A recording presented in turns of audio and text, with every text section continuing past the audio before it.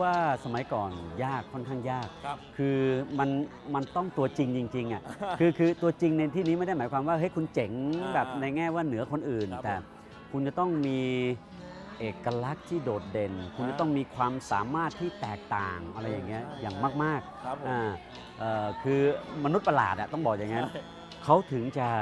หยิบเราครับ ขึ้นมาเพื่อที่จะมามาปั้นมาต้องบอกปั้นมามามาปั้นใช่ มามาดึงความความเป็นตัวเราให้เด่นชัดขึ้นมาใช่ใช่ แล้วถ้าสมัยนี้เป็นยังไงครับคุณดูจากในถ้าถ้าสมัยนี้พี่ยศกลับชอบกลับชอบตรงที่ว่ามันมันเป็นเสียงตอบรับบางทีมันเป็นเสียงตอบรับที่แท้จริงของของประชาชนครับผมอ่าเช่นมีการโหวตนั่นโหวตนี่อะไรเงี้ยพี่ว่าเฮ้ยอันเนี้ยแปลกเยี่ยมขึ้นมาใช่ใช่ อาจจะเป็นเพราะว่าตอนนั้นเนี่ยโอกาสที่เราจะเจอแฟนๆเนี่ยครับ จะมีแค่เฉพาะตอนเราไปคอนเสิร์ต โอ้เท่านั้นใช่แต่ว่าสำหรับยุคนี้เนี่ยแฟนสามารถดู YouTube ก็ดูได้ใช่ไหมแป๊บเดียวคิดถึงเยอะจมากแล้ว ใช่ใช่เพราะฉะนั้น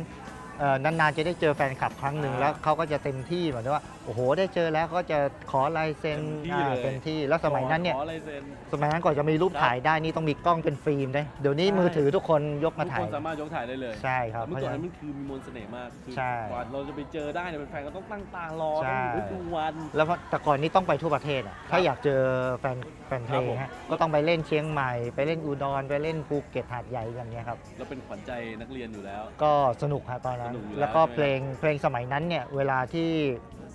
เอ่อจะมีเอาโอกาสได้ครับเผยแพร่เนี่ยก็ต้องไปทางวิทยุไปทางครับโทรทัศน์นะฮะอืม เพราะฉะนั้นสิ่งต่างๆ เหล่านี้ก็จะเป็นสื่อนำที่ทำให้แฟนเพลงได้เห็นกับพวกเราด้วย ครับผม อยากจะจองตัวเธอเป็นของฉันคนเดียวเปล่าเปลี่ยว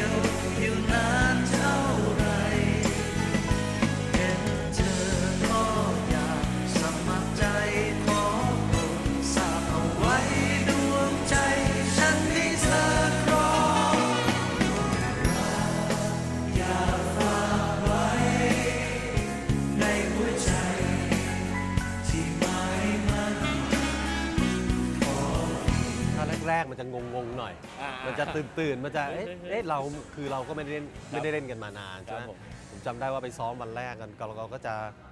ยังแบบไม่เข้าที่อะก็แบบว่าตัวใครตัวมันมาอย่างเงี้ยครัก็บแต่ว่าตอนแรกก็ก็ดูทีท่าว่าเอ๊ะเราก็เคยคิดเหมือนกันว่าเอ๊ะมันจะไปได้ไกลแค่ไหนเหมือนกันนะนะแต่ว่าคือมันยังไม่ค่อยเข้ากันเท่าไหร่ครับผมแต่ว่าพอซ้อมไปสักระยะหนึ่งอะผมเห็นว่าถึงแม้มันจะไม่เข้ากันก็จริงครันะ บผม แต่ว่าทุกคนอะยังมีใจที่แบบใช่อยากจะเล่น พอทุกคนมีใจแล้วผมรู้แล้วเนี่ยอย่างเงี้ยมันต้องมันต้องมีทางที่ไปได้ครับเพราะรู้สึกว่าจะอยากเล่นจะอยากเล่นเรื่อยๆอย่างเงี้ยและเพลินเราได้มีโอกาสได้ได้อ่าได้เล่น หลังจากที่ตั้งวงมาได้มันวงมันก็เปลี่ยนเป็นสองสามยุคนะอ่าครับผมพอหลังจะได้เป็นอยากเป็นวงสมาชิก เออเป็นวงนี้ปั๊บเป็นวงนี้ปุ๊บเนี่ยนะมันก็มีงานเข้ามาแบบมีงานเข้ามาต่อเนื่องทั้งปี อ่าก็มีเชิญไปเล่นอ่าใช่ครับใช่ครับ มันก็เลยทำให้เราได้มีโอกาสซ้อมอยู่ทั้งปีโอ้เพราะฉะนั้นเรื่องคอนเสิร์ตเดอะพาเลส โดยอย่างที่จิ๊บเขาให้สัมภาษณ์ไปว่าว่าพรุ่งนี้ก็เล่นได้เลยจริงๆมันก็เล่นได้เลยจริงๆได้เลยใช่ไหม ใช่ครับเพียงแต่ว่าเอ่อเราต้องหาอะไรที่มันแปลกใหม่เข้ามาใช่แค่คนั้รับนเองคมารับเซอร์ไพรส์ครับแฟนๆที่จะใช่ มาชมเดอะพาเลใช่สครับนะครับใช่ผมครับ คือในการซ้อมกันเนี่ยต้องบอกได้เลยว่าคือพวกนี้ก็คือคนดนตรีเอ่อพวกเนี้ยพี่คิดว่าบนวง The Palace ทุกคนเนี่ยพี่คิดว่าเขาคือศิลปินนะครับผม อ่าพี่ขอใช้คำว่าศิลปินศิลปิน นะเขาไม่ใช่แค่เป็นแค่นักดนตรี ใช่ เขาไม่ใช่แค่เป็นนักร้องไม่ใช่ ครับผม หลายคนบนในวงเนี่ย เป็นนักแต่งนักเขียนนักสร้างสรรค์ใช่ฮะอ่าอันนี้ซึ่งเป็นเรื่องที่ยากใช่เรื่องที่ยากใช่เรื่องที่ยาก ครับการที่จะทำเพลงให้มันมันมันโดนทำเพลงให้มันติดอยู่ในหัวใจคนเนี่ยครับผมโอ้โหเป็นเรื่องที่ยากจริงๆนะครับแต่ The Palace เป็นคนที่มีความสามารถ ทุกคน เพราะฉะนั้น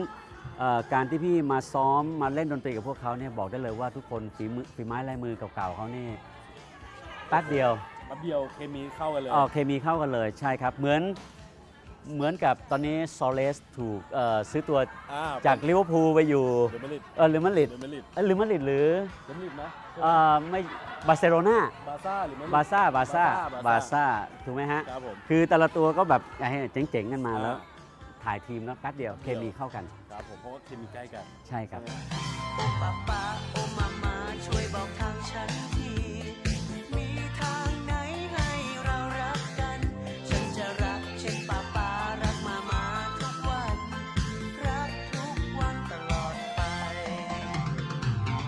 เพลงใหม่เนี่ยมันมีเพลงตั้งแต่เหมือนคอนคอนเสิร์ตครั้งที่แล้วแล้วครับผมครับ ก็เราก็คงเอามาเล่น มันก็มันก็ตอนนี้คือเพลงใหม่เรายังมีอยู่แค่เพลงเดียว เพลงนั่นคือเพลงแต่ขอบคุณสวรรค์หากวันพรุ่งนี้โลกเราจะแปรเปลี่ยนไป ให้จดจำไว้ รักเราไม่แปรเปลี่ยนพัน ขอบคุณในรักที่เธอนั้นมอบ ให้ฉัน ขอบคุณสวรรค์ที่ทำให้ฉันพบเธอ ยังมีอีกหนึ่งเพลงนั่นคือเพลที่งที่คือ The Palace อะทำใหม่กำลังจะทำอยู่ทำเสร็จแล้วครับทำเสร็จแล้วอ่าเป็นรียบหร้อย นึ่งเพลงแต่ว่าคือมันเป็นเพลงครับ เก่าที่ไปประกอบภาพยนตร์โอ้โหอันนี้ภาพยนตร์เรื่องอะไรฮะ ตุ๊กแกรักแป้งมาก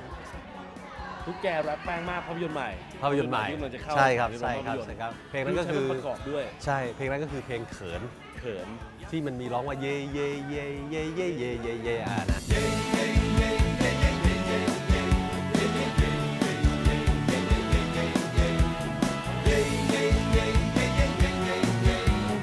อยากจะบอกว่ารักได้แต่ร้องเย่เย่เย่ตอนนี้อ่าเท่าที่ทำทำกันมาอยู่เนี่ยตอนนี้มันอยู่ในซีดีแล้วครับ อ่ามันเป็นเป็นเพลง demo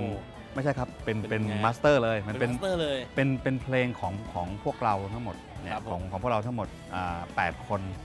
แปดคนก็จะมีอยู่ 8 เพลง โอ้แปดเพลง ซึ่งว่าซึ่งจริง ๆ ก็เป็นเพลงเก่าของพวกเรานั่นแหละครับ ที่แต่ว่าที่เรามีเคยทำใหม่ เอามาทำ rearrange ใหม่ อ๋อ ให้มันเป็นเอ่อของเพลงสมัยนี้ครับ มากขึ้น ให้มีกลิ่นอายของสมัยนี้ใช่มากขึ้นใช่แต่ว่าเนื้อร้องควทุกอย่างยังเหมือนเดิม feeling เหมือนเดิมเหมือนเดิมห